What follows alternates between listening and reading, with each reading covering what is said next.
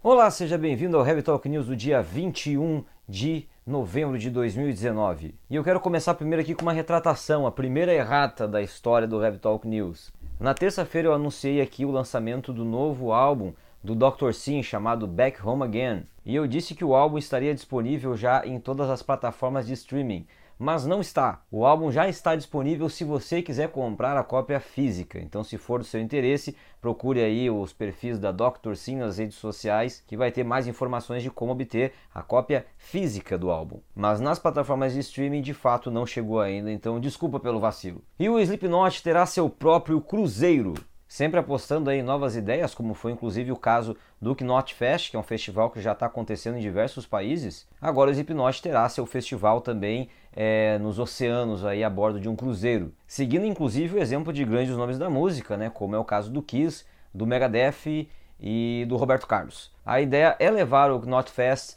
para o alto mar em algo chamado Not Fest at Sea. A data está marcada para 10 a 14 de agosto de 2020 pelas águas de Barcelona. Os preços partem aí de 1.150 dólares e maiores informações serão liberadas a partir do dia 5 de dezembro. E antes da nossa notícia principal, quero avisar vocês que ontem foi ao ar no nosso canal uma entrevista sensacional, super completa, com Eric Derraz. Eric Derraz é um dos principais produtores de shows internacionais aqui no Brasil, que veio da Holanda e adotou o nosso país. Então, se você não assistiu ainda, corre lá porque está muito bacana. E amanhã nós não teremos novamente a nossa live de toda sexta-feira que não é de toda sexta-feira, porque amanhã não vai ter, porque eu estarei nas alturas, indo para São Paulo cobrir o show do Evergrey que vai acontecer no sábado. Então, ó, com com promoção aí da Overload, teremos dia 23 no Carioca Club Evergrey, uma das minhas bandas favoritas aí há uns 15 anos mais ou menos. Temos marcada aí uma entrevista com a banda, tomara que role, às vezes acontece algum imprevisto, mas a princípio teremos uma entrevista com o Evergrey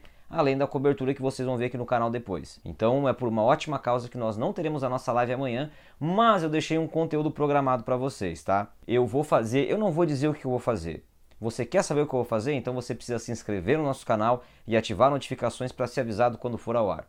Mas vai ter uma coisa diferente de tudo que já foi feito aqui, eu acho. Então fica ligado. E agora sim, recém nós tivemos o anúncio de que o Motley Crue voltaria, mas aqueles que voltam e aqueles que se vão também. Aparentemente o Children of Bodom está chegando ao seu fim, ou pelo menos o Children of Bodom como a gente conhece, né, está encerrando ali um grande capítulo da sua história. Um comunicado oficial informou que o tecladista, o baterista e o baixista da banda farão sua última apresentação em um show no dia 15 de dezembro em Helsinki, na Finlândia. O comunicado ainda diz que os membros remanescentes irão em breve falar sobre mais projetos do futuro. E agora que o John está morando na Finlândia, é óbvio que eu vou tentar enviar ele lá para fazer a cobertura desse último show e talvez conseguir uma entrevista. Vamos ver. Porém, essa história fica um pouco mais esquisita porque tem um site finlandês chamado Soundy que afirmou que o vocalista e guitarrista Alex Laiho, que no caso é um dos dois que permaneceu na banda, perdeu os direitos de uso do nome Children of Bottom, mas que justamente os integrantes que saíram da banda podem usar caso queiram.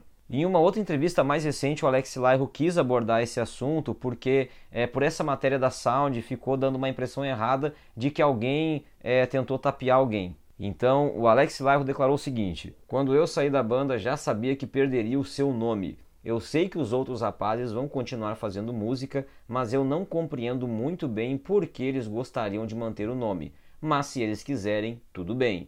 As bandas sempre mudam, isso não é um desastre. Desculpe, mas eu tenho aquelas músicas que eu compus, então eu tenho o direito de tocá-las futuramente. A nova formação será uma versão realmente difícil, porém mais nova e mais atualizada do que a atual. E você, o que, que acha dessa confusão toda? Deixe nos comentários aí embaixo, ok? Obrigado por ter assistido. Antes de sair, não esqueça de compartilhar esse vídeo para chegar a maior quantidade possível de pessoas. Também deixa seu like aí embaixo. Se inscreva no nosso canal do YouTube. E eu vejo vocês muito em breve novamente.